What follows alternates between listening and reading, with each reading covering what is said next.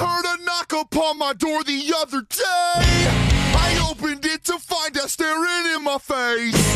The feel of mortal stock stalking still reverberates. Everywhere I go, I drag this coffin just in case.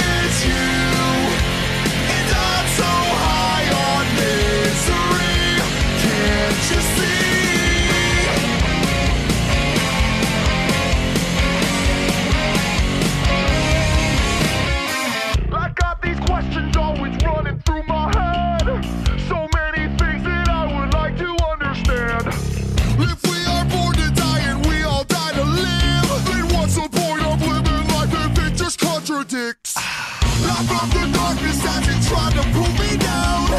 The kind of drug that haunts a hundred year old house. I wrestle with my thoughts, I shook the hand of doubt. Running from my past, I'm praying